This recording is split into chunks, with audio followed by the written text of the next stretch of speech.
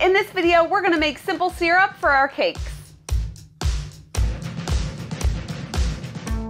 Hi, it's Karolyn. If you wanna learn how to bake and decorate amazing cakes, then I'd love for you to join me by hitting subscribe and the bell. I've had a lot of people ask me recently how to make simple syrup. And I say syrup. Who says syrup? Syrup, why does syrup annoy me? It's probably, oh, I just spit. I use simple syrup on my cake layers to help keep them moist. And listen, we have to we have to let moist be an acceptable word. Can we all say it together without feeling weird? Moist. I think it's the ST together. but we're going to keep the layers moist and let's get into the video. Simple syrup is a one-to-one -one ratio of granulated sugar and regular water. So what do I mean by one-to-one -one ratio? It's equal amounts. So if you have one cup, this is one cup of sugar, I have one cup of water. Two cups of sugar, two cups of water. Three cups of sugar, three cups of water. So, you know, however, however much you want to make, just make sure that it's an equal amount. So I have one cup of sugar I'm going to add to the pan. And this is just regular water, uh, room temperature water, cold, hot. It doesn't matter. And pour that in there. I'm going to put this on high. And you have to keep your eye on it. And this is optional. If you see my channel, you know I love me some Wilton Clear Vanilla. And I'm like that Frank's hot sauce lady. I put that S on everything. I put it on everything. So I just want a little bloop in there. Um, I don't know. I don't know why I do it. I just feel like a little vanilla in the simple syrup couldn't hurt. It doesn't um, change the the flavoring of your cakes or anything. It doesn't hurt to have it in there. You can omit that if you want. And what I want to do is just stir until the sugar is dissolved. And now I want to keep an eye on it. And then I'm going to heat it just till it comes to a boil and then I will remove it from the burner.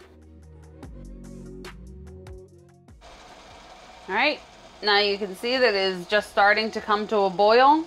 That is perfect. So I don't want to keep it boiling too long because if you start boiling sugar, then it's going to turn into candy and we don't want that. so let's turn this off. And then I'm going to remove it from the burner. And I want to let it cool. So I let it cool for, I don't know, about an hour or so without a lid on and then I'll just take a lid. This lid has these little holes on the side. And this has a little spout. I love this little thing. um, it makes it so much easier to pour into whatever you need it. But anyway, after it cools for an hour and there's not a lot of steam, then I'll put this on so it can still um, aerate. Is that the right word? Whatever. You know, or I'll leave it on like that for a little while. But anyway, I want it to cool before I put it, pour it in the spray bottle. So there you go. How easy was that? The one-to-one -one ratio, bring it to a boil, let it cool, and we can use it to uh, spray on our cakes. Now, I have seen a lot of people pour it on, and I feel like pouring it on there is a little much. It might make it too moist, and look, I said it, I said it without feeling weird. um, I feel like pouring it on makes it too moist, and it's a little too much. So what I like to do once it has cooled, I just put it in a spray bottle and put the spray not on the stream where it's one line, like when it's on the nice spray, and spray it on the layers. I'll, I'll put in some B-roll. But you can see that I spray both sides of my layers before I fill the cakes. So usually, most of my cakes are four layers each, and I'll spray both sides and then fill with icing rinse and repeat. Basically, just keep doing the same thing. I don't like to overspray. Um, it, you just have to find a happy medium. Don't drench it because I had somebody before complain. She showed me a picture. I put way too much simple syrup on it and the stinking cake was like really wet and it looked gross and I felt horrible. so a couple sprays, you know, just, just getting a light mist over the whole thing. So how do I store this? So I keep this in this spray bottle here. And these are actually my mom's, but these are little glass water bottles.